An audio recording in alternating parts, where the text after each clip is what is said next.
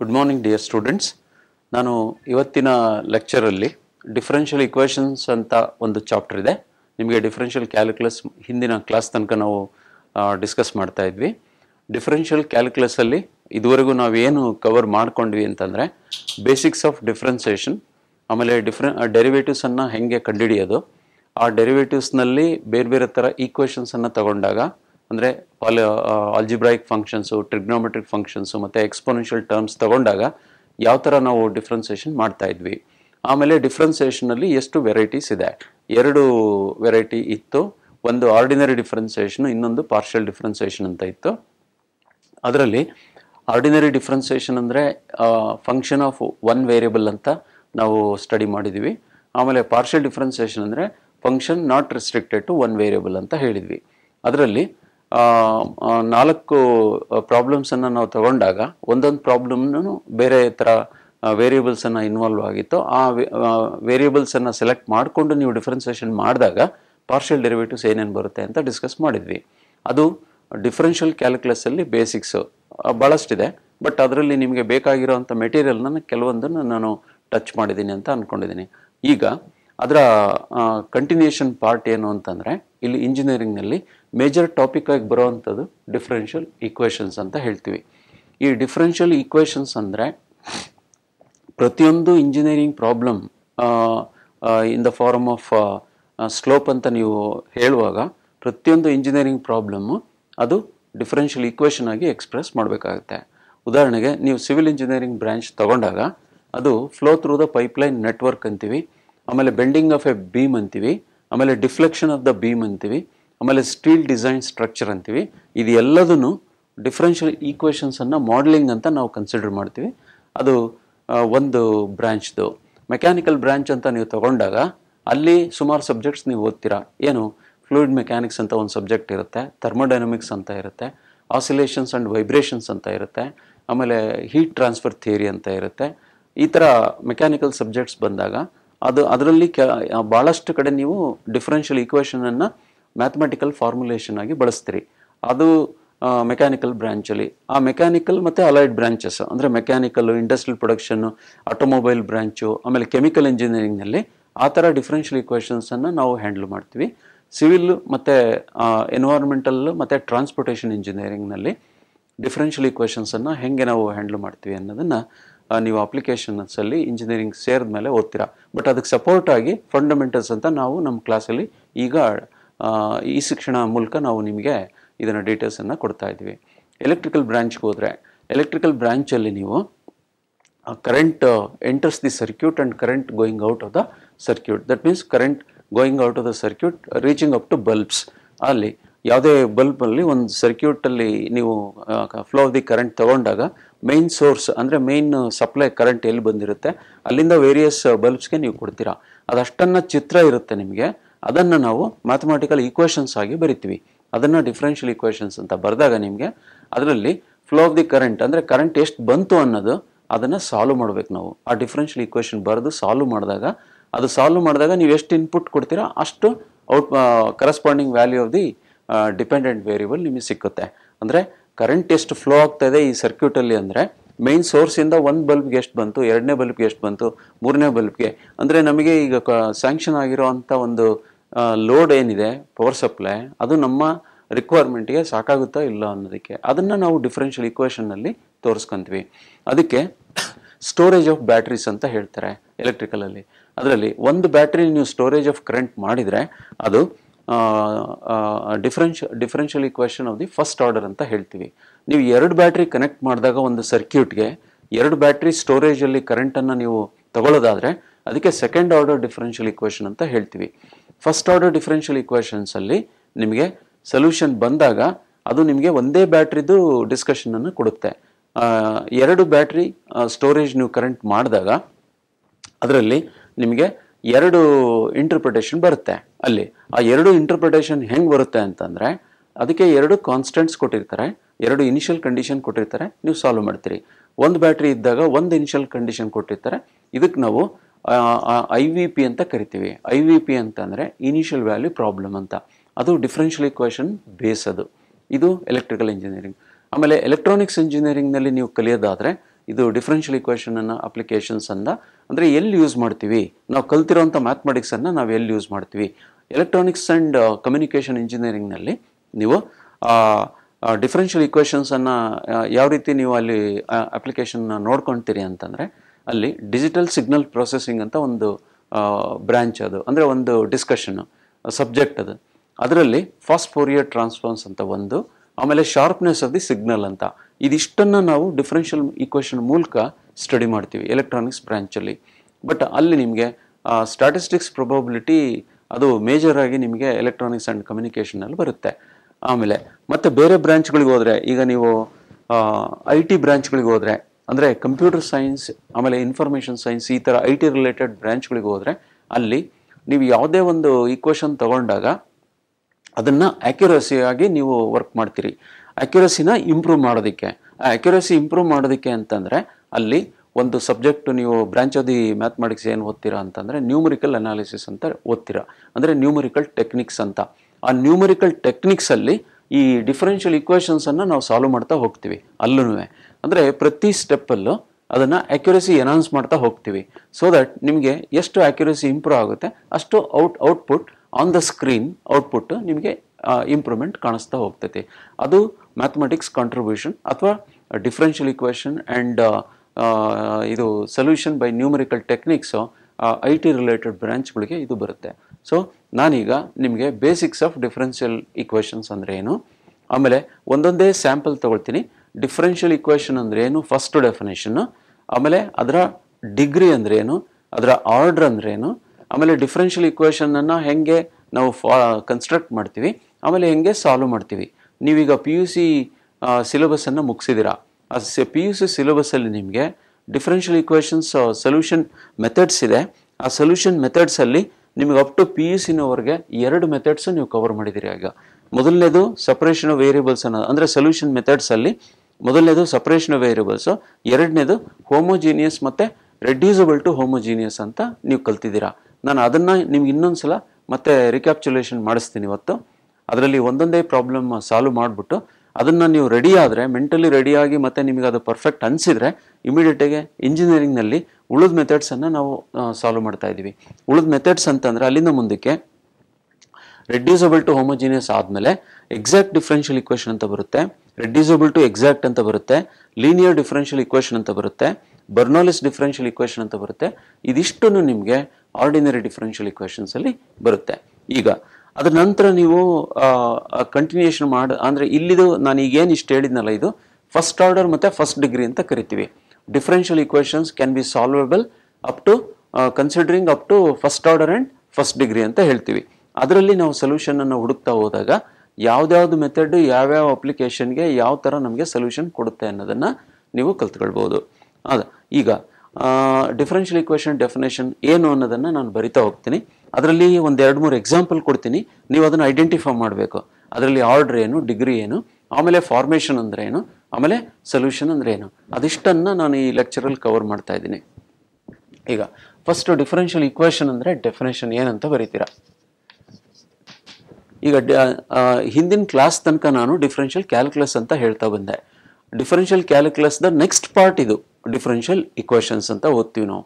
Okay ಅಂದರೆ maximum minima ನಿನ್ನೆ ಒಂದು ಪ್ರಾಬ್ಲಮ್ ಮಾಡಿದ್ದೆ ನಾನು. ಆ ಮ್ಯಾಕ್ಸಿಮಮ್ ಮಿನಿಮದ್ದು ಅಪ್ಲಿಕೇಶನ್ ಆಫ್ ಡಿಫ್ರೆನ್ಸೇಷನ್ ಓಕೆ ಈಗ ಇದರಲ್ಲಿ ಡಿಫ್ರೆನ್ಷಿಯಲ್ ಇಕ್ವೇಷನ್ ಅಂತಂದರೆ ನಾವು ಇದರಲ್ಲಿ ಏನು ಹೇಳ್ತೀವಿ ಅಂದರೆ it is the expression it is the expression involving differential coefficients ಅಂತ ಹೇಳ್ತೀವಿ. It is the expression involving the differential coefficients. It is the expression involving the differential coefficients ಅಂದರೆ ಅರ್ಥ ಏನು? ಮೇ ಬಿ ಫಸ್ಟ್ ಆರ್ಡರ್ ಇರ್ಬೋದು second order ಇರ್ಬೋದು third order ಇರ್ಬೋದು. ಆಮೇಲೆ differential ಇಕ್ವೇಷನ್ಸಲ್ಲಿ ಎರಡು ವಿಧ ಇದೆ. ಎರಡು ವೆರೈಟಿ ಇದೆ. ಅದರಲ್ಲಿ okay expressions involving differential coefficients even including the variables like independent variables dependent variables and constants ಅದರಲ್ಲಿ ನಾನು ಆಮೇಲೆ ಎಕ್ಸಾಂಪಲನ್ನು ಬರಿತಾ ಹೋಗ್ತೀನಿ. There are two types there are two types of differential equations there are two types of differential equations ಯಾವುದು? ಒಂದು ordinary differential equations ಅಂತ ಹೇಳ್ತೀವಿ. Ordinary differential equation.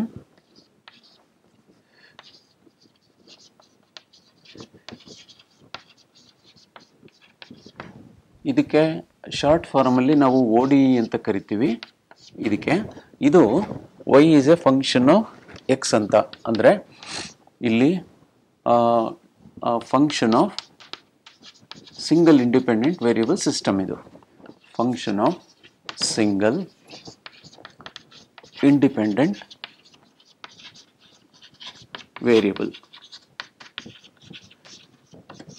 ಅಂದರೆ ಡಿಫರೆನ್ಷಿಯಲ್ ಕೋಯಿಫಿಷಿಯಂಟ್ಸು ಯಾವ ಥರ ಇರುತ್ತೆ ಅಂತಂದರೆ dependent variable is completely restricted to one independent variable ಅಂದರೆ ಸಿಂಗಲ್ ಇಂಡಿಪೆಂಡೆಂಟ್ ವೇರಿಯಬಲ್ ಅಂತ ಹೇಳ್ತೀವಿ.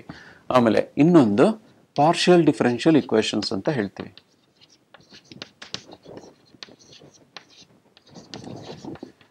ಪಾರ್ಷಿಯಲ್ ಡಿಫರೆನ್ಷಿಯಲ್ ಇಕ್ವೇಷನ್ಸ್ ಇದನ್ನು ಶಾರ್ಟ್ ಫಾರ್ಮ್ ಆಗಿ ಪಿ ಡಿ ಇ ಅಂತ ಕರಿತೀವಿ. ನಾರ್ಮಲಿ ಎಲ್ಲ ಸ್ಟ್ಯಾಂಡರ್ಡ್ ಬುಕ್ಸಲ್ಲಿ ಇದು ಒ ಡಿ ಮತ್ತು ಪಿ ಡಿ ಅಂದರೆ ಸ್ಟ್ಯಾಂಡರ್ಡ್ ಅಬ್ರಿವೇಷನ್ ಆಗಿ ಯೂಸ್ ಮಾಡ್ತಾರೆ.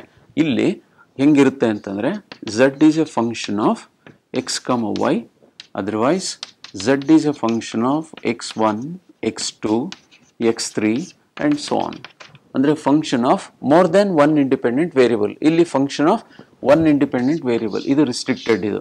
ಇದು ಇದು ನಾಟ್ ರಿಸ್ಟ್ರಿಕ್ಟೆಡ್ ಅಂದರೆ ಎಷ್ಟಾದರೂ ವೇರಿಯಬಲ್ಸ್ ಇರ್ಬೋದು ಅಂತ ಅರ್ಥ.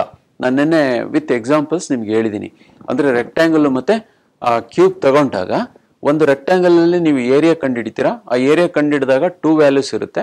ಆಮೇಲೆ ಕ್ಯೂಬ್ ತಗೊಂಡಾಗ ಅದರಲ್ಲಿ ತ್ರೀ ವ್ಯಾಲ್ಯೂಸ್ ಇರುತ್ತೆ. Length into width into altitude ಒಂದು ರೆಕ್ಟ್ಯಾಂಗಲ್ ನೀವು ತಗೊಂಡಾಗ ಎಕ್ಸ್ ಇಂಟು ವೈ ಅಂದರೆ ಲೆನ್ ಲೆಂತ್ ಇಂಟು ವಿಡ್ತ್ ಅಂತ ಆಗುತ್ತೆ. So there are two types of differential equation ನಾನು ನಿಮ್ಗೀಗ ಇದು ಒಂದಷ್ಟೇ ಹೇಳ್ತೀನಿ ಇವಾಗ. ಆರ್ಡಿನರಿ ಡಿಫರೆನ್ಷಿಯಲ್ ಈಕ್ವೇಷನ್ ಯಾಕೆಂದರೆ ಪಾರ್ಷಿಯಲ್ ಡಿಫರೆನ್ಷಿಯಲ್ ಈಕ್ವೇಷನ್ ಆದರೆ ಇದರ ಈ ಇದನ್ನು ನೀವು ಅರ್ಥ ಮಾಡ್ಕೊಂಡು ನಂತರ ನೀವು ಪಾರ್ಷಿಯಲ್ ಡಿಫರೆನ್ಷಿಯಲ್ ಈಕ್ವೇಷನ್ಸ್ಗೆ ಹೋಗಬೇಕಾಗುತ್ತೆ. ಓಕೆ ಈಗ ಇದು ಇದು ಆರ್ಡಿನರಿ ಡಿಫರೆನ್ಷಿಯಲ್ ಈಕ್ವೇಷನ್ ಅಂತಂದರೆ ನಾನು ಇಲ್ಲಿ ಎಕ್ಸಾಂಪಲ್ ಬರಿತೀನಿ. ಒಂದು. dy d dx plus of sin x plus of xy equal to 0 ಇದು ಒಂದು ಇಕ್ವೇಷನ್ ಆಮೇಲೆ dy by dx whole square plus e to the power of x plus 1 by x is equal to 0 ಇದು ಇನ್ನೊಂದು equation ನಾ ಇನ್ನೊಂದು ಬರಿತೀನಿ d square y divided by d x square plus d y by d x whole cube plus of e to the power of x into sin x plus 3 equal to 0 ಇನ್ನೊಂದು equation ಬರಿತೀನಿ. ಇಲ್ಲಿ that is d square x divided by d t square plus of two times d t by d x plus of t plus of ten equal to zero ಇದು ಒಂದು example ಇವು general ಆಗಿರೋಂಥ differential ಇಕ್ವೇಷನ್ಸು ನೀವು examples ಆಗಿ ತಗೊಳ್ತೀರಾ. So examples ಆಗಿ ನೀವು ತಗೊಳ್ಳುವಾಗ ಇದು ಇದು ಡೆಫಿನೇಷನನ್ನು ಫಸ್ಟ್ ಅಬ್ಸರ್ವ್ ಮಾಡಿ, ಮತ್ತು ಇದರ ಡಿಗ್ರಿ ಏನು, ಮತ್ತು ಆರ್ಡರ್ ಏನು ಅನ್ನೋದನ್ನು ನೀವು ಕಲಿತಾ ಹೋಗ್ತೀರಾ. ಸೊ ಈಗ ಫಸ್ಟ್ ಡಿಫರೆನ್ಷಿಯಲ್ ಇಕ್ವೇಷನ್ ಇದರಲ್ಲಿ. ನಾನೀಗ ಬರೀ ಆರ್ಡಿನರಿ ಡಿಫರೆನ್ಷಿಯಲ್ ಇಕ್ವೇಷನ್ ಅಷ್ಟೇ ಇಂಟ್ರೊಡ್ಯೂಸ್ ಮಾಡ್ತೀನಿ ಇವತ್ತಿನ ಲೆಕ್ಚರಲ್ಲಿ ಯಾಕೆ ಅಂದರೆ ಪಾರ್ಷಿಯಲ್ ಡಿಫರೆನ್ಷಿಯಲ್ ಇಕ್ವೇಷನ್ ನೀವು ಇದ್ರ ನಂತರ ಬರುತ್ತೆ ಅದು. ಫಸ್ಟ್ ಇದರಲ್ಲಿ ನೀವು ಎಂಜಿನಿಯರಿಂಗ್ ಫಸ್ಟ್ ಸೆಮಿಸ್ಟ್ರಲ್ಲಿ ಕಂಪ್ಲೀಟ್ಲಿ ನೀವು ಆರ್ಡಿನರಿ ಡಿಫರೆನ್ಷಿಯಲ್ ಈಕ್ವೇಷನ್ಗೆ ಹೋಗ್ತೀರಾ? That is called O D E and its applications okay ಇವು ಎಕ್ಸಾಂಪಲ್ಸ್ ಇದೆ. ಈಗ ನಾನು ನಿಮಗೆ ಏನು ಹೇಳ್ತೀನಿ ಅಂತಂದರೆ what is the order of the differential equation what is the degree of the differential equation what is the general solution of the differential equation what is the particular solution of the differential equation ಇವು ನಾಲ್ಕು ಶಬ್ದ ನೀವು ಕರೆಕ್ಟಾಗಿ ಅರ್ಥ ಮಾಡ್ಕೋಬೇಕು. ಯಾಕೆ ಅಂತಂದರೆ ಈ ಬೇಸಿಕ್ಸು ಮತ್ತು ಈ ಡೆಫಿನೇಷನ್ಸನ್ನು ನೀವು ಅರ್ಥ ಮಾಡಿಕೊಂಡ್ರೆ ನಿಮಗೆ ಆ remaining part of the differential equation ನಿಮಗೆ ಸುಲಭ ಬರುತ್ತೆ. ಈಗ ನಾನು ಇದರಲ್ಲಿ ಈ ಡೆಫಿನೇಷನ್ ಅನ್ನೋದನ್ನು ಏನು ಹೇಳಿದೆ? Differential equation is an expression containing the differential coefficients ಅಂತ ಹೇಳಿದೆ. ಇದಿಷ್ಟು ಎಕ್ಸಾಂಪಲ್ಸ್ ನಿಮಗೆ. ಇಲ್ಲಿ ಜನರಲ್ಲಿ ನೀವು ಯಾವ್ದಾದ್ರು ತಗೊಳ್ಬೋದು ಬಟ್ ಇಷ್ಟು ಎಕ್ಸಾಂಪಲ್ಸು ಡಿಫರೆನ್ಷಿಯಲ್ ಕೋಎಫಿಷಿಯೆಂಟ್ಸನ್ನು ಇನ್ವಾಲ್ವ್ ಮಾಡಿದ್ದೀವಿ ಇಲ್ಲಿ ಓಕೆ ಇದು ಇದು d y by d x ಅಂದರೆ derivative of the first order ಬರುತ್ತೆ. ಈಗ ನಾನು ಆರ್ಡರ್ ಆಫ್ ದಿ ಆರ್ಡರ್ ಅಂದ್ರೆ ಏನು ಅಂತ ಫಸ್ಟು ಹೇಳ್ತೀನಿ. Order of O D E ಅಂದರೆ ಇನ್ಮೇಲಿಂದ ನಾನು ಇದನ್ನೇ ಶಬ್ದ ಬಳಸ್ತೀನಿ ಓ ಡಿ ಇ ಅಂದರೆ ಆರ್ಡಿನರಿ ಡಿಫರೆನ್ಷಿಯಲ್ ಇಕ್ವೇಷನ್ ಇದೊಂದು ಅಬ್ರಿವೇಷನ್ ಇದು. ಎಲ್ಲ ಟೆಕ್ಸ್ಟ್ ಬುಕ್ಸಲ್ಲೂ ಬರೀತಾರೆ. Abbreviation instead of ordinary differential equation lengthier form ಬರೆಯೋದ್ರ ಬದಲು ನಿಮಗೆ ಓ ಡಿ ಇ ಅಂತ ಅಷ್ಟೇ ಮೆನ್ಷನ್ ಮಾಡಿರ್ತಾರೆ. ಈಗ order of the differential equation ಅಂತ ಅಂದರೆ it is the highest ordered derivative it is the highest ordered derivative appear in the equation appear in O D of course ನೀವು O D ಅಂತಲೇ ಬರಿಬೋದು it is the highest ordered derivative appear in the O D E now degree degree of ODE it is the degree of it is the degree of highest ordered derivative appear in ODE ಇದು ನೀವು already ಓದಿದ್ದೀರಾ but ಇದನ್ನು ನೀವು ಕರೆಕ್ಟಾಗಿ ನೆನ್ಪಿಟ್ಕೊಂಡು ಮತ್ತೆ ರಿಕ್ಯಾಪ್ಚುಲೇಟ್ ಮಾಡ್ಕೋಬೇಕು. Order ಅಂತಂದರೆ ನಾವು ಎಲ್ಲಿ ಹೇಳ್ತೀವಿ, ಆಮೇಲೆ ಡಿಗ್ರಿ ಅಂತಂದರೆ ಎಲ್ಲಿ ಹೇಳ್ತೀವಿ, ಇಲ್ಲಿ ನಿಮಗೆ ಕೆಲವು ಎಕ್ಸಾಂಪಲ್ಸ್ ನಾನು ಕೊಟ್ಟಿದ್ದೀನಿ. ಇದರಲ್ಲಿ ನೀವು ಆರ್ಡರ್ ಮತ್ತು ಡಿಗ್ರಿನ ನೀವು ಐಡೆಂಟಿಫೈ ಮಾಡಬೇಕು. ಓಕೆ ಈಗ ಫಸ್ಟ್ ಡಿಫರೆನ್ಷಿಯಲ್ ಇಕ್ವೇಷನ್ ನೀವು ಇದನ್ನು ತಗೊಂಡಾಗ ಇಲ್ಲಿ d y by d x plus sine x plus x into y is equal to zero ನಾನೇನು ಹೇಳ್ತೀನಿ, ನಾನೇನು ಕ್ಲೈಮ್ ಮಾಡ್ತೀನಿ ಅಂತಂದರೆ this is the ordinary differential equation ಅಂತ ನಾನು ಕ್ಲೈಮ್ ಮಾಡ್ತೀನಿ. ಆರ್ಡಿನರಿ ಡಿಫರೆನ್ಷಿಯಲ್ ಇಕ್ವೇಷನ್ ಅನ್ನೋದನ್ನ ಫಸ್ಟ್ ನೀವು ಅಕ್ಸೆಪ್ಟ್ ಮಾಡ್ಕೋಬೇಕು. ಯಾಕೆ ಅಂತಂದ್ರೆ ಇದರಲ್ಲಿ ಡೆರಿವೇಟಿವ್ ಇದೆ. ಡೆರಿವೇಟಿವ್ ಇಲ್ಲದೆ ಇರೋದನ್ನ ನೀವು ಡಿಫರೆನ್ಷಿಯಲ್ ಇಕ್ವೇಷನ್ ಅಂತ ಕರೆಯೋಕ್ಕಾಗಲ್ಲ. ಡಿಫರೆನ್ಷಿಯಲ್ ಕೋಎಫಿಷಿಯಂಟ್ ಇರಬೇಕು. ಅದು ಯಾವ ಥರ ಡಿಫರೆನ್ಷಿಯಲ್ ಕೋಎಫಿಷಿಯಂಟ್ ಇದೆ? ಅದರದ್ದು ಡಿಗ್ರಿ ಏನು? ಅದರದ್ದು ಆರ್ಡರ್ ಏನು? ಅದು ಈ ಎರಡು ಡೆಫಿನೇಷನ್ಸ್ ಈಗ. ಇದಿಷ್ಟನ್ನ, ಅಂದರೆ ಮ್ಯಾಥಮೆಟಿಕ್ಸಲ್ಲಿ ಯಾವುದೇ ನೀವು ಪ್ರಾಬ್ಲಮ್ ತಗೊಂಡಾಗ ನಿಮಗೆ ಆ ಪ್ರಾಬ್ಲಮ್ ನಿಮಗೆ ಅನಲೈಸ್ ಮಾಡೋದಕ್ಕೆ ಅರ್ಥ ಆಯಿತು ಅಂತಂದರೆ ಅರ್ಧ ಭಾಗ ಸೊಲ್ಯೂಷನ್ ನೀವು ಮಾಡ್ದಂಗೆ ಅದೇ ಥರ ಈ ಈಕ್ವೇಷನ್ ಅಲ್ಲಿ ಆರ್ಡರ್ ಅಂದರೆ ಎಷ್ಟು ಬರುತ್ತೆ ಡಿಗ್ರಿ ಅಂದರೆ ಎಷ್ಟು ಬರುತ್ತೆ ಅನ್ನೋದನ್ನು ನೋಡೋಣ. ಈಗ highest order derivative it is the degree ಅಂತ ಹೇಳ್ತೀನಿ ನಾನು. ಈಗ ಈ ಫಸ್ಟ್ ಈಕ್ವೇಷನ್ ಅಲ್ಲಿ ಇದು D Y by D X ಅಂತ ನಾನು ಕರೆದಿದ್ದೀನಿ ಈಗ. ಫಸ್ಟ್ ಆರ್ ಇಲ್ಲಿ ಫಸ್ಟ್ ಡೆರಿವೇಟಿವ್ ಅಂತ. ಸೊ ಡಿಗ್ರಿ ಅಂತಂದರೆ ಇಲ್ಲೊಂದು ಬ್ರ್ಯಾಕೆಟ್ ಹಾಕಿದರೆ ಇದಕ್ಕೆ ಒನ್ ಅಂತ ಹೇಳ್ತೀವಿ. ಆಮೇಲೆ ಇದು D Y by D X ಅಂತಂದ್ರೆ once differentiated the dependent variable with respect to the independent variable ಅಂತ ಹೇಳ್ತೀವಿ. ಇಲ್ಲಿ ಯಾವುದು ನಿಮಗೆ ಡಿಪೆಂಡೆಂಟ್ ವೇರಿಯಬಲ್ ಇದು ವೈ ಇದೆ ಡಿಪೆಂಡೆಂಟು ಅದ್ರ ಜೊತೆಗೆ ಎಕ್ಸ್ ಇಂಡಿಪೆಂಡೆಂಟ್ ವೇರಿಯಬಲ್ ಇದೆ. ಅಂದ್ರೆ ಏನರ್ಥ Y is a function of X ಅಂತ. ಈ ಎಲ್ಲ ಡಿಫರೆನ್ಷಿಯಲ್ ಇಕ್ವೇಶನ್ಸು ಅದೇ ಥರನೇ ಇದೆ. ಬಟ್ ಇದು ಮಾತ್ರ, ಇದು ಒಂದು ಡಿಫರೆನ್ಷಿಯಲ್ ಇಕ್ವೇಶನ್ ಇಲ್ಲಿ ವೈ ಸಾರಿ ಎಕ್ಸ್ ಇಲ್ಲಿ ಲೆಫ್ಟ್ ಸೈಡಲ್ಲಿ ಬರುತ್ತೆ. X is a function of T ಅಂತ ಬರುತ್ತೆ ಇದು. ಆಮೇಲೆ ಸಪೋಸ್ ನಾನು ಇನ್ನೊಂದು ಡಿಫರೆನ್ಷಿಯಲ್ ಇಕ್ವೇಶನ್ ಇನ್ನೊಂದು ಥರ ಬರೆಯೋದಾದರೆ D square X divided by D Y square plus of D X divided by D Y whole square plus of sin x plus of log x uh, sin x log x plus of phi equal to zero ಇಲ್ಲಿ ಮೂರು ಥರ ಬೇರೆ ಬೇರೆ ಥರ equations ಅನ್ನ ಬರಿತಾ ಇದ್ದೀನಿ ನಾನು. ಒಂದು, ಇದು Y equal to F X ಯಾಕೆ ಅಂತಂದರೆ ನ್ಯೂಮರೇಟ್ರಲ್ಲಿ ವೈ ಬರುತ್ತೆ ಡಿಫ್ರೆನ್ಷಿಯಲ್ ಕೋವಿಷೆಂಟ್ ಅಲ್ಲಿ. ಆಮೇಲೆ ಡಿನಾಮಿನೇಟ್ರಲ್ಲಿ ಎಕ್ಸ್ ಬಂದಾಗ ಅದನ್ನು ನಾವು Y is equal to function of X ಅಂತ ಕರಿತೀವಿ. ಯಾಕೆ ಅಂತಂದರೆ Y is a dependent variable and X is a independent variable ಇದಕ್ಕೆ D Y by D X ಅಂತ ಕರಿತೀವಿ. ನಿಮಗೆ maximum number of problems ninety nine percent normally ನಾವು ಏನು ಮಾಡ್ತೀವಿ ಅಂತಂದರೆ, ಸ ಅಲ್ಲಿ last symbol will be expressed in terms of previous symbol ಅಂತ ಹೇಳ್ತೀವಿ ನಾವು. ಈಗ ಎ ಬಿ ಸಿ ಡಿ ನಾವು ಬರ್ಕಂತ ಹೋದಾಗ ಎಕ್ಸ್ ವೈ ಝಡ್ ಅಂತ ಹೇಳ್ತೀವಿ. ಎಕ್ಸ್ ವೈ ಝಡ್ ಅಂದಾಗ, ಇಲ್ಲಿ Z is a function of X comma Y ಅಂತೀವಿ. Y is a function of X ಅಂತೀವಿ. X is a function of previous symbol ಅಂತ ಹೇಳ್ತೀವಿ. ಇದು ರೂಲ್ ಏನಿಲ್ಲ. ನೀವು ಹಾಗೆ ಬರಿಬೇಕು ಅಂತ. Because it is universally accepted by great mathematicians and we are simply following even you can also reverse it ಇಲ್ಲಿ ರಿವರ್ಸ್ ಮಾಡಿದ್ದೀನಿ ನಾನೀಗ. ಇದನ್ನು. ಅಂದರೆ ಎರಡೂ ಥರದ್ದು ನಿಮಗೆ ಅರ್ಥ ಚೆನ್ನಾಗಿ ಕ್ಲಿಯರ್ ಇರಬೇಕದು ಅಂದರೆ ಹಿಂಗೆ ಬರೆದಿದ್ದನ್ನು ನೀವು ಬೈಹಾರ್ಟ್ ಮಾಡುವಂತ ಆ, ಅಭ್ಯಾಸ ಮಾತ್ರ ಮಾಡ್ಕೋಬೇಡ್ರಿ. ಬೈಹಾರ್ಟ್ ಮ್ಯಾಥಮೆಟಿಕ್ಸ್ನಲ್ಲಿ ಆ ಝೀರೋ ಮಾಡ್ಕೊಳ್ರಿ. ಬೈಹಾರ್ಟ್ ನೀವು ಮಾಡಿದ್ರಿ ಅಂದರೆ ಮ್ಯಾಥಮೆಟಿಕ್ಸ್ ಬೇಕಿಲ್ಲ. ನೀವು ಓದ ಓದಕ್ಕೆ ಚಾನ್ಸೇ ಇಲ್ಲ. ಬೈಹಾರ್ಟ್ ಮಾಡಬಾರ್ದು. ಇದನ್ನು ಅರ್ಥ ಮಾಡ್ಕೋಬೇಕು. ವೈ ನ್ಯೂಮರೇಟರ್ಲಿ ಡೆರಿವೇಟಿವ್ನಲ್ಲಿ ಬಂದಾಗ ನ್ಯೂಮರೇಟರ್ ಬಂತು ಅಂದರೆ ಅದು ಡಿಪೆಂಡೆಂಟ್ ವೇರಿಯಬಲ್ ಇರುತ್ತೆ. ಆಮೇಲೆ ಎಕ್ಸ್ ಡಿನಾಮಿನೇಟರಲ್ಲಿ ಬಂದಾಗ ಇದು ಇಂಡಿಪೆಂಡೆಂಟ್ ವೇರಿಯಬಲ್ ಇರುತ್ತೆ. ನನ್ನ ಹಿಂದಿನ ಲೆಕ್ಚರಲ್ಲಿ ಹೇಳಿದ್ದೀನಿ ಡಿಪೆಂಡೆಂಟ್ ವೇರಿಯಬಲ್ ಅಂದ್ರೆ ಏನು? ಇಂಡಿಪೆಂಡೆಂಟ್ ವೇರಿಯಬಲ್ ಅಂದ್ರೆ ಏನು ಅಂತ. ಡಿಪೆಂಡೆಂಟ್ ವೇರಿಯಬಲ್ ಅಂದ್ರೆ ನೀವೇ ಎಕ್ಸಾಂಪಲ್ ಡಿಪೆಂಡೆಂಟ್ ವೇರಿಯಬಲ್ ಅಂದ್ರೆ ನೀವು ಇನ್ನ ನಿಮ್ಮ ಫಾದರ್ ಹೆಲ್ಪ್ ಅಲ್ಲಿ ಸಪೋರ್ಟ್ ಅಲ್ಲಿ ನೀವು ಡಿಪೆಂಡ್ ಆಗಿದ್ದೀರಿ. ನಿಮ್ಮ ಫಾದರ್ ಇಂಡಿಪೆಂಡೆಂಟ್ ಇರ್ತಾರೆ. ಯಾಕೆಂದ್ರೆ ಅವರು ನಿಮಗೆ ಫೆಸಿಲಿಟೀಸ್ ಪ್ರೊವೈಡ್ ಮಾಡ್ತಾರೆ. ನೀವು ಓದ್ ಮುಗಿಸಿ ಜಾಬಿ ಬಂದಾಗ ನೀವು ಇಂಡಿಪೆಂಡೆಂಟ್ ಆಗ್ತೀರಾ?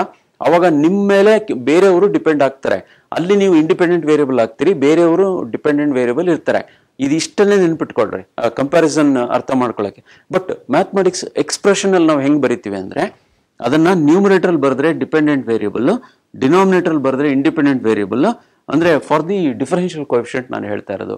ಇದು D Y by D X ಅನ್ನೋದು. ಓಕೆ ಈಗ ನೀವು ಇದರಲ್ಲಿ ಆರ್ಡರ್ ಏನು ಡಿಗ್ರಿ ಏನು ಅನ್ನೋದನ್ನ ಈ ಎಲ್ಲ ಎಕ್ಸಾಂಪಲ್ಸ್ ನೀವು ಐಡೆಂಟಿಫೈ ಮಾಡ್ರಿ. ಓಕೆ ಇಲ್ಲೇನ್ ಬಂತು ನಿಮಗೆ? ಇದು X is a function of T ಇದೆ. ಯಾಕೆಂದ್ರೆ ಇಲ್ಲಿ ಎಕ್ಸ್ ನ್ಯೂಮರೇಟರ್ ಬಂತು ಟಿ ಡಿನಾಮಿನೇಟರ್ ಬಂತು. ಇಲ್ಲಿ ವೈ ಇಲ್ಲ ಈ ಅಲ್ಲಿ. ಇಲ್ಲಿ ವೈ ನ್ಯೂಮರೇಟರ್ ಇದೆ, ಇಲ್ಲಿ ಎಕ್ಸ್ ಡಿನಾಮಿನೇಟರ್ ಇದೆ. ಇನ್ನು ಉಳಿದವೆಲ್ಲ ಹಾಗೆ ಇದಾವೆ. ಆದರೆ ಈ ಪ್ರಾಬ್ಲಮ್ ಇದು ಮಾತ್ರ ಬೇರೆ ತರ ಇದೆ. ಅಂದ್ರೆ X is equal to function of Y ಇದೆ. ಯಾಕೆಂದ್ರೆ ಎಕ್ಸ್ ನ್ಯೂಮರೇಟರ್ ಬಂತು ವೈ ಡಿನಾಮಿನೇಟರ್ ಬಂತು. ಅಂದ್ರೆ ನಿಮ್ಮ ಫಾದರೇ ನಿಮ್ಮ ಮೇಲೆ ಡಿಪೆಂಡ್ ಆದಂಗೆ. ನೀವು ಇಂಡಿಪೆಂಡೆಂಟ್ ಅಂದ್ರೆ ನೀವು ಅರ್ನಿಂಗ್ ಇದ್ದೀರಾ, ನಿಮ್ಮ ಫಾದರ್ ನಿಮ್ಮ ಮೇಲೆ ಡಿಪೆಂಡ್ ಇದ್ದಾಗ you will become totally independent and your father is dependent ಅಂದ್ರೆ your father is dependent on you okay ಆ ಥರದ್ದು ಮೂರು ವೆರೈಟೀಸ್ ಎಕ್ಸಾಂಪಲ್ ಈ ಈ ಥರದ್ರಲ್ಲಿ ನೀವು ಯಾವುದೇ ಬೇರೆ ಸಿಂಬಲ್ ಕೊಟ್ರು ಮೀನಿಂಗನ್ನು ಅರ್ಥ ಮಾಡ್ಕೊಳ್ಳೋದಕ್ಕೆ ನೀವು ಇಮಿಡಿಯೇಟ್ ಆಗಿ ಒಂದು ಎಕ್ಸಾಂಪಲ್ ತಗೊಳ್ಬೇಕು. ಅವಾಗ ನಿಮಗೆ ಕ್ಲಿಯರ್ ಆಗುತ್ತೆ ಅದು ಐಡಿಯಾ ಓಕೆ ಈಗ ಇಲ್ಲಿ ಆರ್ಡರ್ ಏನು, ಆಮೇಲೆ ಡಿಗ್ರಿ ಏನು, ಈ ಎಲ್ಲ ಡಿಫರೆನ್ಷಿಯಲ್ ಇಕ್ವೇಶನ್ಸ್ ಅಲ್ಲಿ ಅನ್ನೋದನ್ನ ಅರ್ಥ ಮಾಡ್ಕೊ this is nothing but very strong basic ಅಷ್ಟಂತ ನಾನು ಹೇಳ್ತೀನಿ. ಯಾಕೆಂದ್ರೆ differential equation plays a major role in the engineering applications ಅಷ್ಟು ಮಾತ್ರ ಹೇಳ್ತೀನಿ. Most of the engineering problems are completely modelled or completely formulated with differential equations most of the problems ಇಲ್ಲಿ ಇದನ್ನ ಈ bracket ಅಲ್ಲಿ ಬರ್ದಾಗ ನಾವು ಇದಕ್ಕೆ ಒನ್ ಅಂತ ಕರಿತೀವಿ. ಸೊ ಇದು ಆರ್ಡರ್ ಎಷ್ಟಿದೆ ನಿಮಗೆ? ಒನ್ ಇದೆ. ಆರ್ಡರ್ ಅಂದರೆ ಫಸ್ಟ್ ಆರ್ಡರ್ ಡೆರಿವೇಟಿವ್ ಅಂತೀವಿ. ಆಮೇಲೆ ಡಿಗ್ರಿನೂ ಒಂದೇ ಇದೆ ಇದು. ಡಿಗ್ರಿ ಒಂದೇ ಇದೆ. ಯಾಕೆ? ಇಲ್ಲಿ ನಾನು ಬರೆದಿದ್ದೀನಿ.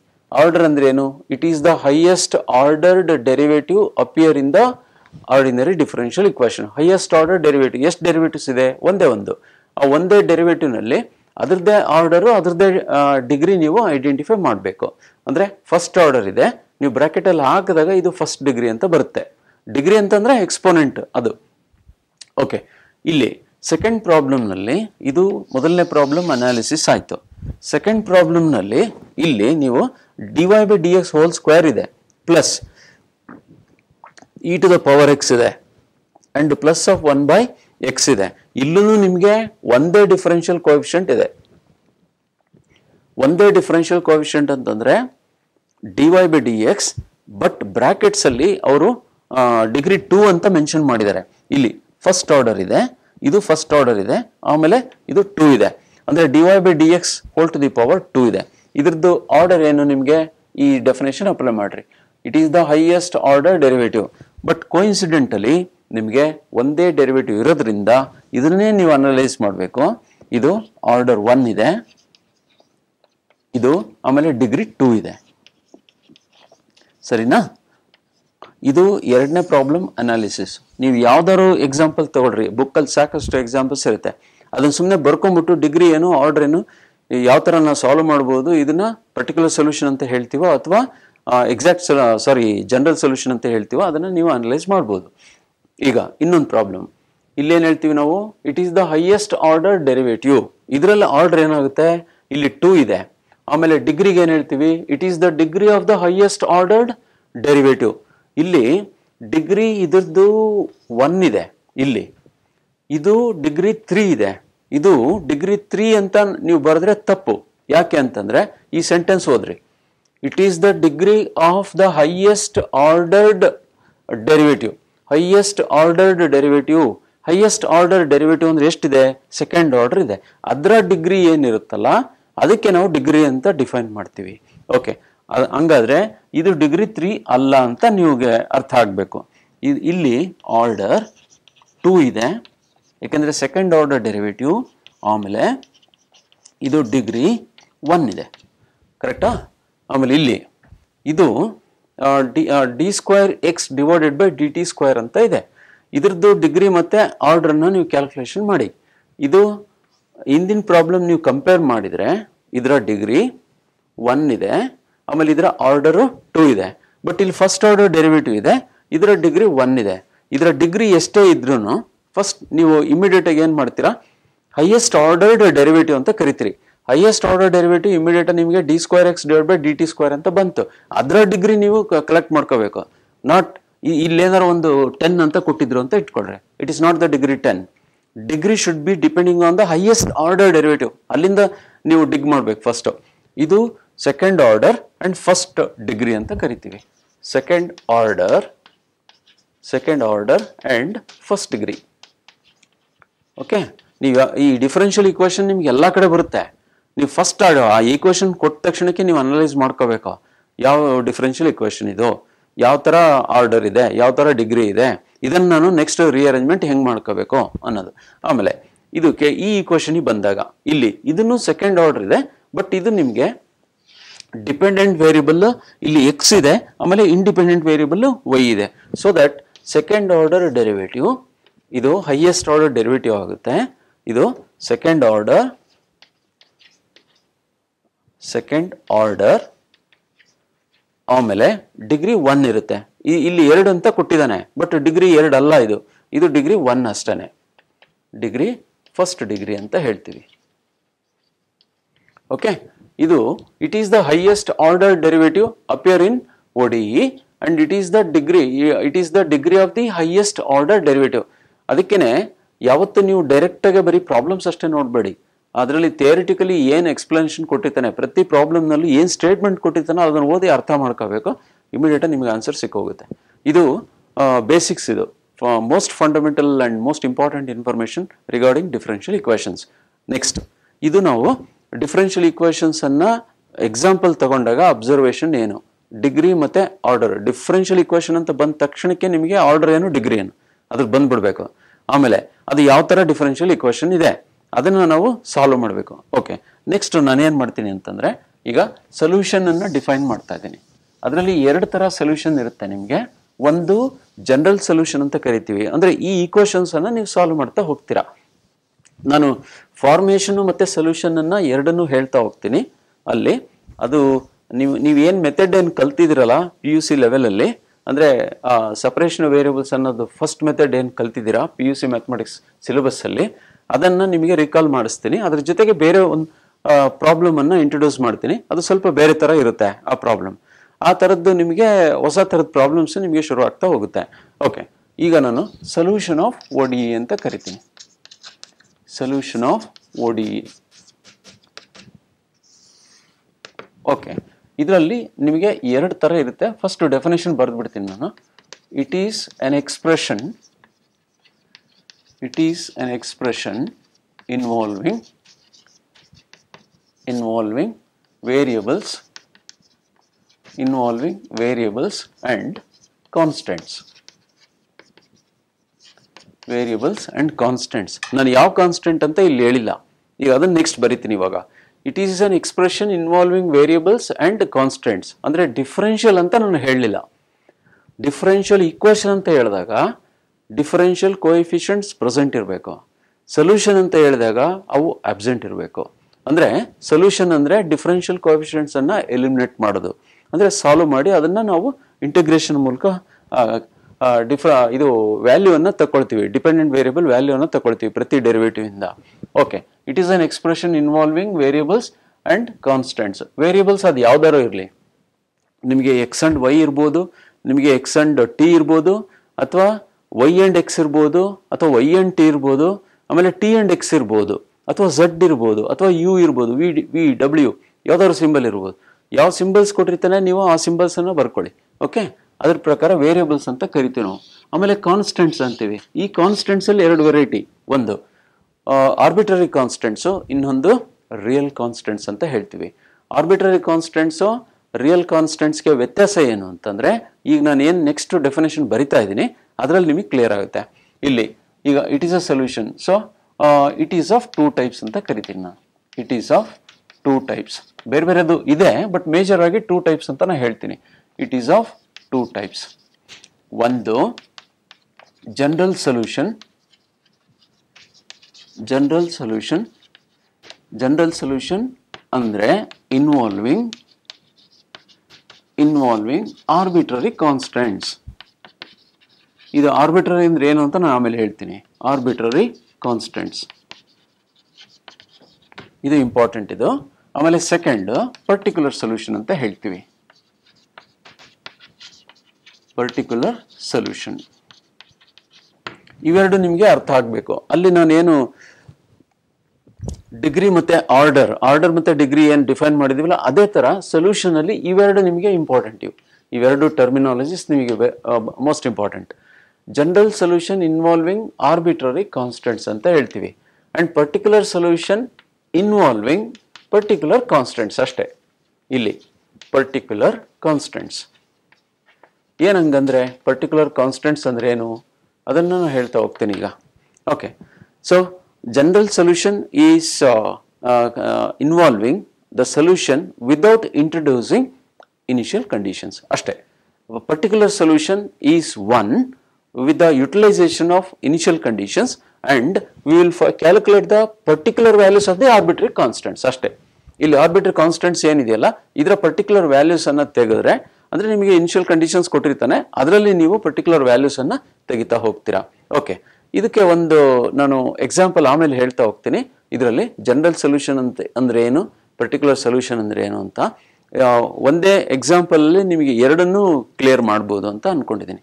ಓಕೆ ಈಗ ಸೊಲ್ಯೂಷನ್ನಲ್ಲಿ ನಿಮಗೆ ಎಷ್ಟು ಮೆಥಡ್ಸ್ ಇದೆ?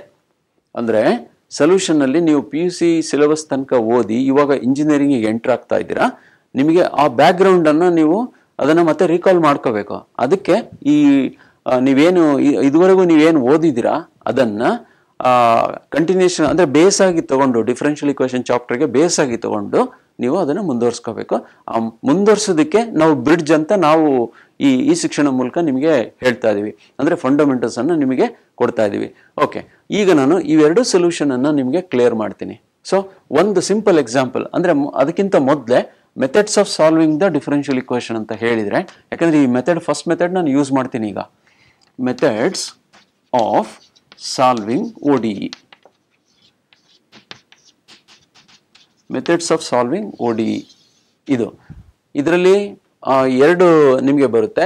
ಒಂದು ಫಾರ್ಮೇಷನ್ ಅಂತ ಬರುತ್ತೆ, ಆಮೇಲೆ ಸಾಲ್ವಿಂಗ್ ಅಂತ ಬರುತ್ತೆ. Formation of O D E ಇದು ಒಂದು, ಇದು ಎರಡನೇದು ಓಕೆ ಇದು ಮೋಸ್ಟ್ ಇಂಪಾರ್ಟೆಂಟ್ ಪಾರ್ಟ್ ಈಗ. ಇದು ಎರಡರಲ್ಲೇ ನಿಮಗೆ ಹೋಲ್ ನಾಲ್ಕನೇ ಸೆಮಿಸ್ಟರ್ ತನಕನೂ ಇದು ಎರಡರಲ್ಲೇ ನಿಮಗೆ, ನೀವು ಡಿಸ್ಕಷನ್ ಮಾಡ್ತಾ ಹೋಗ್ತೀರಾ. ಒಂದು ಫಾರ್ಮೇಷನ್ ಅಂತ ಇರುತ್ತೆ, ಅದು ನಿಮಗೆ ಫಸ್ಟ್ ಇಯರ್ ಫಸ್ಟ್ ಸೆಮಿಸ್ಟರಲ್ಲೇ ನಿಮಗೆ ಬಂದು ಹೋಗ್ಬಿಡುತ್ತೆ. ಅಥವಾ ನೀವು ಪಿ ಯು ಸಿನಲ್ಲಿ ಓದಿದ್ದೀರಾ ಬಟ್ ಇಲ್ಲಿ ಬೇರೆ ಥರ ನಾವು ಪಾರ್ಷಿಯಲ್ಗೂ ಹೇಳಬೇಕಾಗುತ್ತೆ ಫಾರ್ಮೇಷನ್ ಅಂದರೆ ಏನು ಅಂತ. ಬಟ್ ಸೊಲ್ಯೂಷನ್ ಏನಿದೆಯಲ್ಲ, ಇದು ನಿಮಗೆ ಎಲ್ಲ ಸೆಮಿಸ್ಟ್ರಲ್ಲೂ ಡಿಫರೆನ್ಷಿಯಲ್ ಇಕ್ವೇಷನ್ ಅಂತ ಎಲ್ಲಿ ಟೈಟ್ಲ್ ಬರುತ್ತೆ, ಅಲ್ಲಿ ನಾವು ಸೊಲ್ಯೂಷನ್ ಮಾಡ್ತಾ ಹೋಗ್ತೀವಿ. ಸೊಲ್ಯೂಷನ್ ಅನ್ನೋದು ಒಂದೇ ರೂಟಲ್ಲಿ ಅಥವಾ ಒಂದೇ ರೀಅರೇಂಜ್ಮೆಂಟಲ್ಲಿ ಬರಲ್ಲ. ಯಾಕೆ ಅಂತಂದರೆ ಬೇರೆ ಬೇರೆ ಥರ ಡಿಫ್ರೆನ್ಷಿಯಲ್ ಇಕ್ವೇಷನ್ಸ್ ಬರುತ್ತೆ. For example civil engineer discuss ಮಾಡುವಾಗ ಅವರು deflection of the beam okay ಒಂದು ಬೀಮಿಂಗ್ ಇದೆ ಅಂತಂದ್ರೆ ಅದರ ಡಿಫ್ಲೆಕ್ಷನ್ ಎಷ್ಟು ಅಂತ ಕ್ಯಾಲ್ಕುಲೇಷನ್ ಮಾಡ್ಬೇಕಾರೆ ಇದ್ರ ಮೇಲೆ ಲೋಡ್ ಹಾಕ್ತಾನೆ ಅವನು. ಇದ್ರ ಮೇಲೆ. ಇದ್ರ ಮೇಲೆ ಲೋಡ್ ಹಾಕಿದಾಗ ಇದು ಬೀಮ್ ಅನ್ಕೊಳ್ಳಿ ಇದು ಇದು ಬೀಮು. ನೀವು ಇದ್ರ ಮೇಲೆ ಲೋಡ್ ಹಾಕಿದಾಗ ಇಲ್ಲಿ, ಇದ್ರ ಮೇಲೆ ಲೋಡ್ ಹಾಕಿದಾಗ ಇದು ಹಿಂಗ್ ಬೆಂಡ್ ಆಗುತ್ತೆ. ಈ ತರ ಬೆಂಡ್ ಆದಾಗ ಇದಕ್ಕೆ ನಾವು ಇಲ್ಲಿಂದ ಟ್ಯಾಂಜೆಂಟ್ಸ್ ಹೇಳ್ದು ಇದರ ಡಿಫ್ಲೆಕ್ಷನ್ ಕ್ಯಾಲ್ಕುಲೇಟ್ ಮಾಡ್ತೀವಿ. ಯಾಕೆಂದ್ರೆ ಲೈನ್ ಹಿಂಗಿರುತ್ತೆ ಅದು ಇದ್ರ ಮೇಲೆ ನೀವು ಲೋಡ್ ಹಾಕ್ತಾ ಹೋದಾಗ ಬೆಂಡ್ ಆಗ್ತಾ ಹೋಗುತ್ತೆ. ಅದಕ್ಕೆ ಅವರು ವರ್ಕ್ ಮಾಡ್ತಾರೆ. ಅಂದ್ರೆ ನಾವು ಎಷ್ಟು ವಿಡ್ತ್ಗೆ ಎಷ್ಟು ದಪ್ಪ ನಾವು ಬೀಮ್ ಹಾಕಬೇಕು ಕಾಲಮ್ ಎಷ್ಟು ಹಾಕಬೇಕು ಅಂತ. ಅದು ಆ, ರಿಕ್ವೈರ್ಮೆಂಟ್ಗಿಂತ ಅವರು ಕಡಿಮೆ ಸ್ಪೆಸಿಫೈ ಮಾಡಿದಾಗ ಅಲ್ಲಿ ಕ್ರ್ಯಾಕ್ ಬರುತ್ತೆ. ಅದು ಕಡಿಮೆ ಸ್ಪೆಸಿಫೈ ಮಾಡಿದಾಗ ಅದು ಬೆಂಡ್ ಆಗುತ್ತೆ. ಸೊ ಆ ಬೆಂಡಿಂಗ್ ಮೂಮೆಂಟ್ ಅಂತ ಕರಿತೀವಿ. ಅದು ಈವನ್ ಸಿವಿಲಲ್ಲೂ ಬರುತ್ತೆ ಮೆಕ್ಯಾನಿಕಲಲ್ಲೂ ಬರುತ್ತೆ. ಅದು ಸೊ ಇಲ್ಲಿ ನೀವು ಲೋಡ್ ಅನ್ನ ಅದ್ರ ಮೇಲೆ ಎಷ್ಟು ನೀವು ಲೇ ಮಾಡಬೇಕು ಅದು ಏನು ಡಿಸೈನ್ಡ್ ಏನಿರುತ್ತೆ ಅದಷ್ಟಕ್ಕೆ ಹಾಕ್ಬೇಕು. ಅದ್ರ ಮೇಲೆ ನೀವು ಜಾಸ್ತಿ ಲೋಡ್ ಹಾಕಿದಾಗ ಹಿಂಗೆ ಬೆಂಡ್ ಆಗುತ್ತದೆ. ಹಿಂಗೆ ಹಿಂಗ್ ಬೆಂಡ್ ಆದಾಗ ಆರ್ ಸಿ ಸಿ ಡಿಸೈನ್ ಮಾಡಿರೋದು ತಪ್ಪು ಅಂತ ನಾನು ಹೇಳ್ತೀನಿ. ಅವಾಗ ಅದರದ್ದು ಡಿಫ್ಲೆಕ್ಷನ್ ಆಫ್ ದ ಬೀಮ್ ಅಂತ ಕ್ಯಾಲ್ಕುಲೇಷನ್ ಮಾಡ್ಕೊತೀವಿ. ಅವಾಗ ಅದಕ್ಕೆ ಆ ವಿಡ್ತ್ಗೆ ಏನು ಬೇಕಲ್ಲ, ಆ ಸ್ಪ್ಯಾನ್ಗೆ ಫಾರ್ ಎಕ್ಸಾಂಪಲ್ ಇದು ತರ್ಟಿ ಫೀಟ್ ಇದೆ ಟ್ವೆಂಟಿ ಫೀಟ್ ಇದೆ ಅಂತಂದ್ರೆ ಆ ಟ್ವೆಂಟಿ ಫೀಟ್ಗೆ ಎಷ್ಟು ದಪ್ಪ ಬೀಮ್ ಹಾಕೋಬೇಕು ಅದರಲ್ಲಿ ಸ್ಟೀಲ್ ಡಿಸೈನ್ ಅನ್ನ ಏನ್ ಮಾಡಬೇಕು ಅನ್ನೋದು ತೋರಿಸ್ತಾರೆ. ಅದು ಈ ಡಿಫರೆನ್ಷಿಯಲ್ ಇಕ್ವೇಶನ್ ಮೂಲಕ ಬರುತ್ತೆ ನಮಗೆ. ಅದರಲ್ಲಿ calculate the deflection of the beam when other parameters are given okay ಅದು ಯಾವುದಕ್ಕೆ ಅಕ್ಸೆಪ್ಟಬಲ್ ಯಾವುದಕ್ಕೆ ನಾಟ್ ಅಕ್ಸೆಪ್ಟಬಲ್ ಅನ್ನೋದು ಕೆಲವೊಂದು ಕೋಡ್ಸ್ ಇದೆ.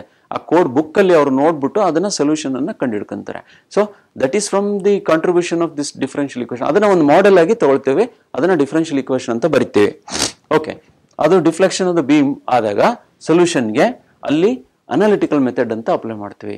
ಇನ್ನೊಂದು, ನೀವು ಅಕ್ಯುರಸಿ ವೈಸ್ ಹೋದಾಗ ಅಲ್ಲಿ solution of differential equation by numerical method ಅಂತ ಹೇಳ್ತೀವಿ.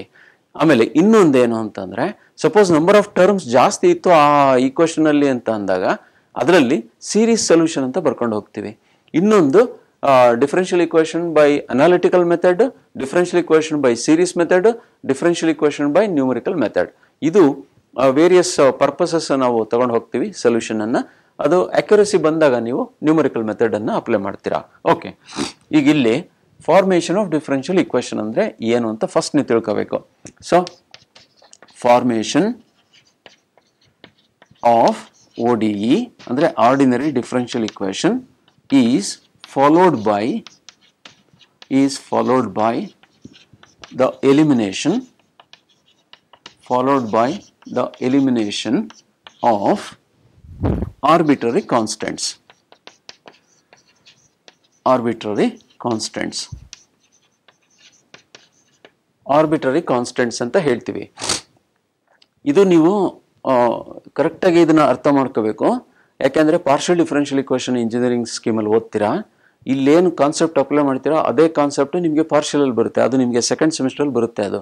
ಈಗ ಫಸ್ಟ್ ಸೆಮಿಸ್ಟ್ರಲ್ಲಿ ಆರ್ಡಿನರಿ ಡಿಫರೆನ್ಷಿಯಲ್ ಇಕ್ವೇಷನ್ ಲಿಂಕ್ ಅಷ್ಟೇ ತಗೊಳ್ತಾ ಇದ್ದೀವಿ ಈಗ formation of differential equation is followed by the elimination of arbitrary constants ಇದು ನೀವು, ನಾ ನೀವು ಹೆಂಗೆ ಕಾನ್ಸ್ಟೆಂಟ್ಸ್ ಬಂದಿರುತ್ತೋ ಹಾಗೆ ಕ್ಯಾಶುವಲ್ ಆಗಿ ಅದನ್ನ ನೀವು ಎಲಿಮಿನೇಟ್ ಮಾಡೋಕ್ಕಾಗಲ್ಲ.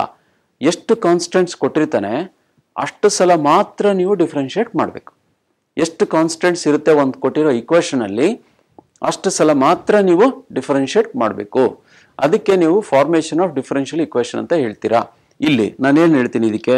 ಇಂಪಾರ್ಟೆಂಟ್ ನೋಟ್ ಅಂತ ಅಂದ್ರೆ ಇದಕ್ಕೆ ಈ ಡೆಫಿನೇಷನ್ಗೆ order of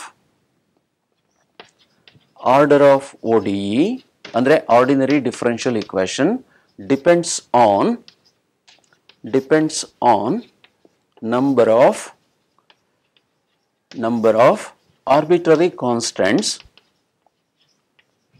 number of arbitrary constants appear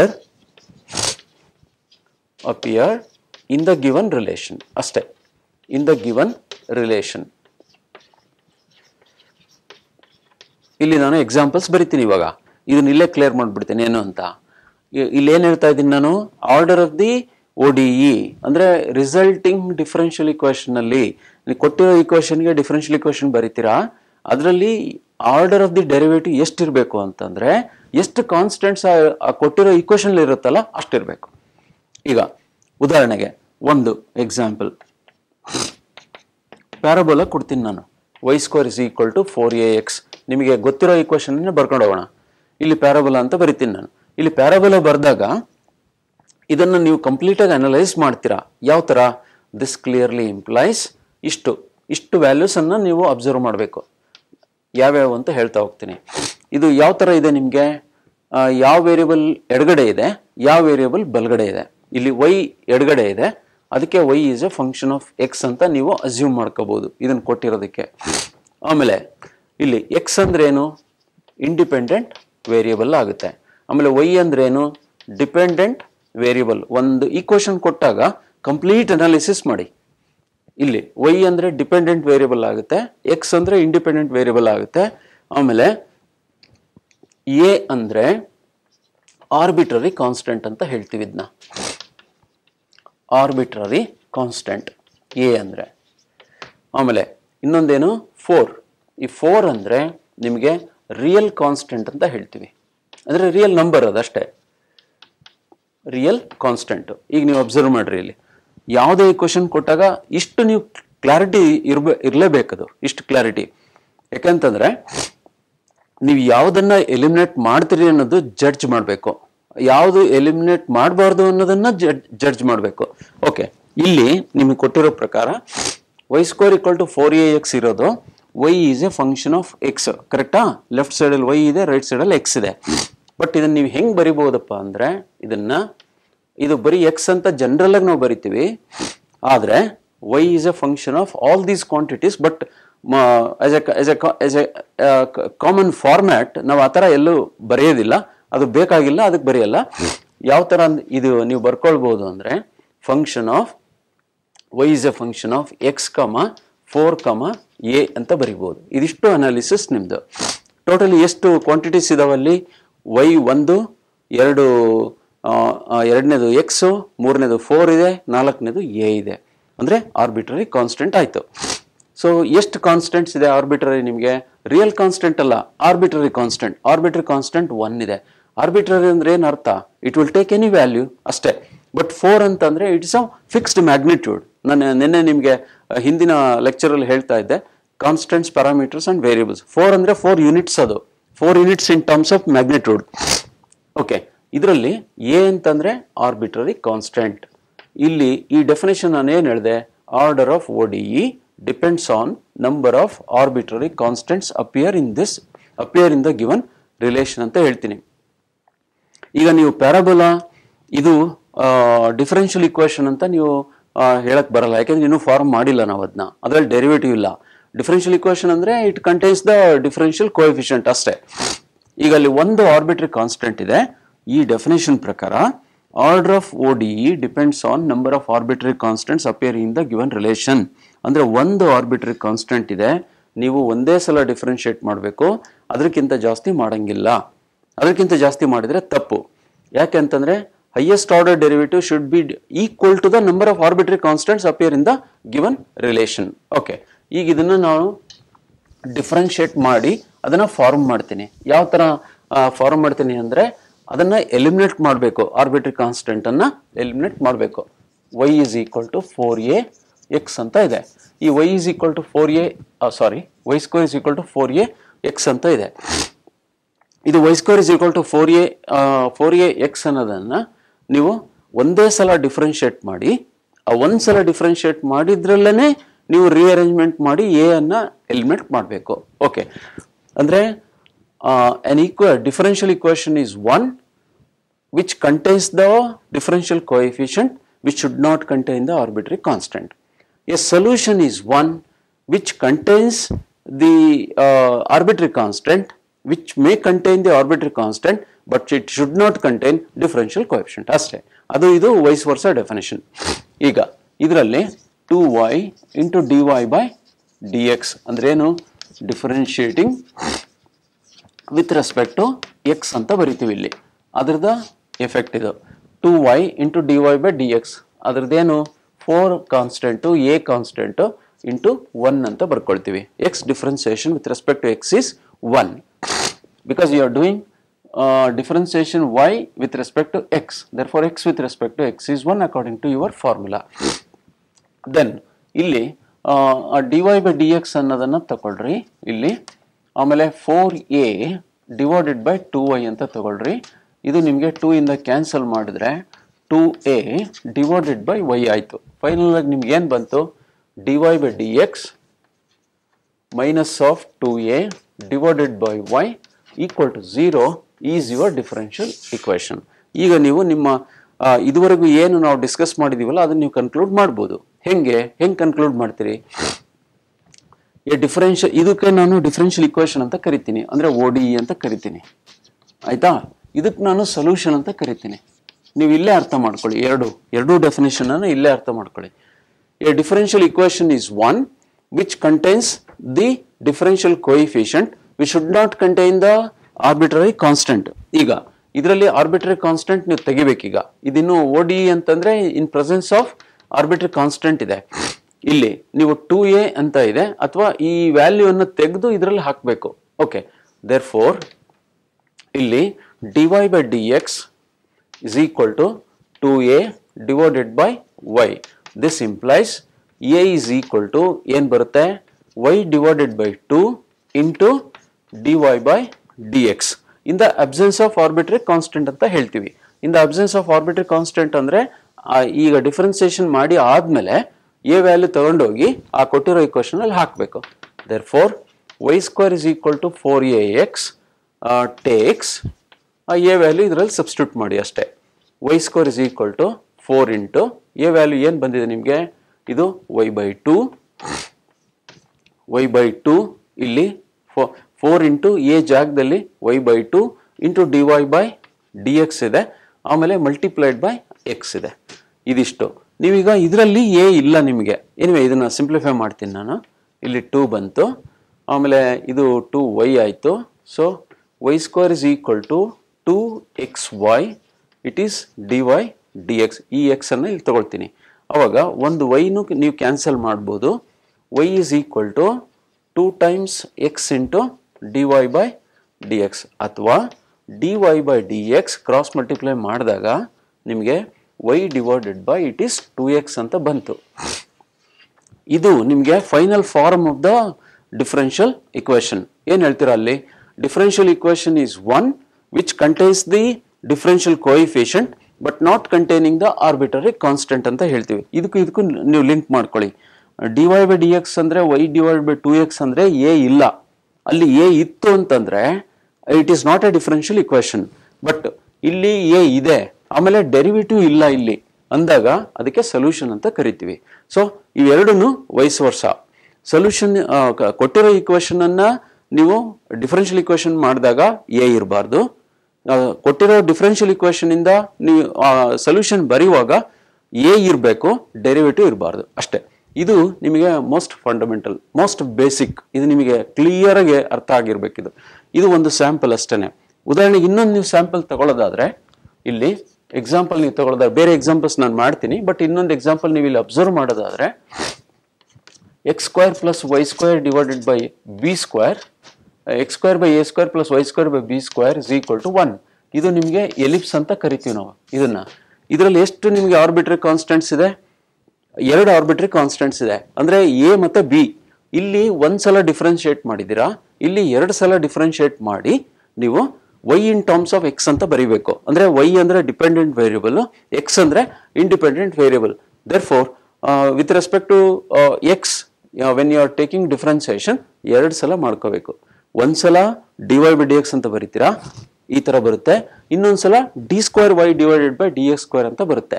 ಇದು ಫಾರ್ಮೇಷನ್ ಆಫ್ ಡಿಫರೆನ್ಷಿಯಲ್ ಇಕ್ವೇಶನ್ ಆಮೇಲೆ ಸೊಲ್ಯೂಷನ್ ಆಫ್ ಡಿಫರೆನ್ಷಿಯಲ್ ಇಕ್ವೇಶನ್ ಅಂತ ಅಂದ್ರೆ ಇಲ್ಲಿ ನಾವು ಇದನ್ನು ಸಾಲ್ವ್ ಮಾಡಿದ್ವಲ್ಲ, ಅಂದ್ರೆ ಈಗ ಇದು ಫ್ರೀ ಫ್ರಮ್ ಡೆರಿವೇಟಿವ್ ಸೊ ಇವೆರಡನ್ನು ನೀವು ಬೇಸಿಕ್ ಆಗಿ ಕ್ಲಿಯರ್ ಮಾಡ್ ಕ್ಲಿಯರ್ ಮಾಡಿಕೊಂಡ್ರೆ ಮಾತ್ರ ನಿಮಗೆ ನೆಕ್ಸ್ಟ್ ಮೆಥಡ್ ಆಫ್ ಸೊಲ್ಯೂಷನ್ ನಿಮ್ಗೆ ಅರ್ಥ ಆಗೋದು. ಇಲ್ಲಿಗೆ ನಾನು ಇದನ್ನ ಕನ್ಕ್ಲೂಡ್ ಮಾಡ್ತಾ ಇದ್ದೀನಿ. ನೆಕ್ಸ್ಟ್ ಲೆಕ್ಚರಲ್ಲಿ ಇದೇ ಡಿಫರೆನ್ಷಿಯಲ್ ಇಕ್ವೇಶನ್ ನಾನು ಕಂಟಿನ್ಯೂ ಮಾಡ್ತಾ ಇದ್ದೀನಿ. ಅದರಲ್ಲಿ ನಿಮಗೆ ಸೊಲ್ಯೂ method of solving and method of forming the differential equation ಅನ್ನು ಡಿಸ್ಕಸ್ ಮಾಡ್ತೇನೆ ಥ್ಯಾಂಕ್ ಯು